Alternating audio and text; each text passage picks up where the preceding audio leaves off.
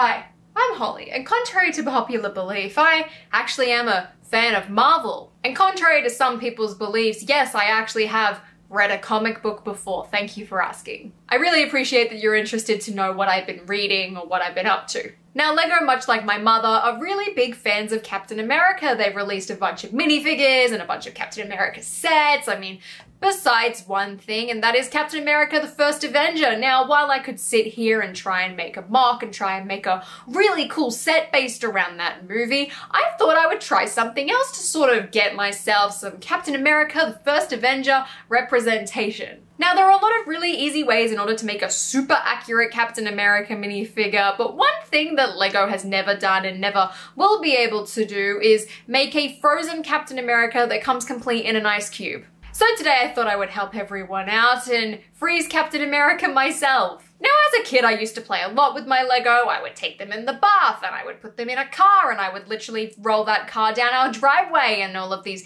Harry Potter figures that are extremely valuable now would just sort of skid down onto the good old Tarket Road.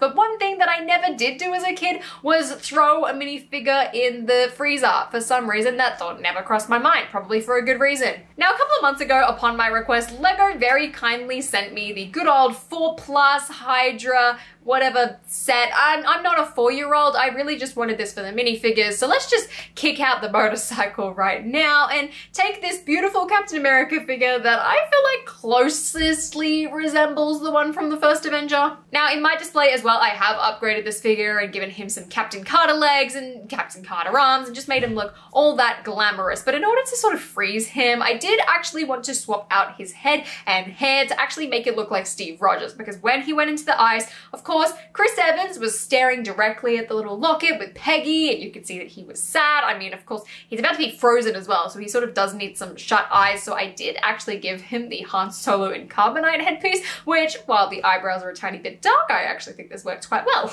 Then for the hair, I just used the same one that LEGO does, and Captain America was then ready to be put on the ice. Now, yes, there was a part of me that was scared that this Lego minifigure was going to be super fragile afterwards, but then I sort of comprehended it in my head. I was like, well, I mean, at the end of the day, it's just water, like really, really cold water.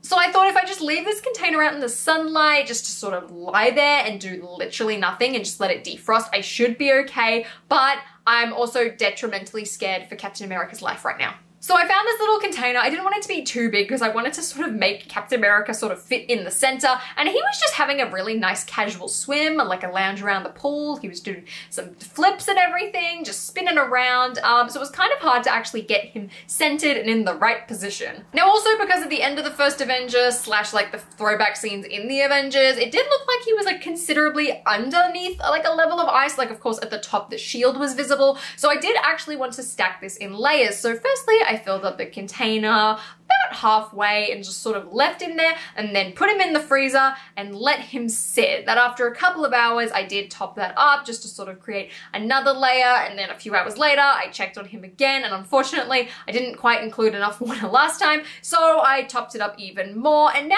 he's been sat in the freezer all weekend and it's time to take out Captain America and actually see if this worked and also give him a little bit of a photo shoot to give you guys the most accurate and realistic Captain America First Avenger mock you will ever see. I really hope I didn't damage this figure because I do not want to go and buy all the parts again. So after several days, it is finally now time to check on him. So it's been a couple of days now, so let's take Captain America out of the freezer and set him free from the icy pain that he's been suffering with. We'll just film with my phone. Hello, Cap. there he is. Hello. Oh man. Oh, here he is. Check him out. Oh, Cap. Poor buddy. Are you okay? Oh my gosh, it's literally like got like ice steam. You know what I mean? I love him. Look at that. Oh, it's so accurate. I need to take a cool photo. There is frozen Steve Rogers. Oh dear. I really hope that this doesn't break the figure. I'm like kind of worried, honestly. Hello, Steve. Oh, don't you look great? I think I'm gonna have to leave him in here just so he can actually defrost and I can get my minifigure back. So that is frozen Steve Rogers, Frozen Captain America, just like in Captain America the First Avenger. Is this more accurate than anything LEGO could put out? Oh, 100%. No, they're not able to freeze minifigures in ice. Um, he looks fantastic. I just really hope he doesn't break now. I'm able to take the little thing out of the container. It's already like started to melt. Oh dear, it's dripping. Okay. So I'm just gonna leave him in this slippery container and I'll probably find him floating in like a pool of water later. But I'm really happy with how this turned out. I'm really happy with how he looks. I'll probably check on him as he defrosts and show you guys some progress of that. But it worked. I probably wouldn't recommend doing this with a lot of your minifigures um, at all. Just don't try this at home. But if you guys enjoyed this video and enjoyed seeing Captain America, the most authentic version First Avenger, then please give me a thumbs up and consider subscribing to my channel down below. And until next time, Steve and I will see you later.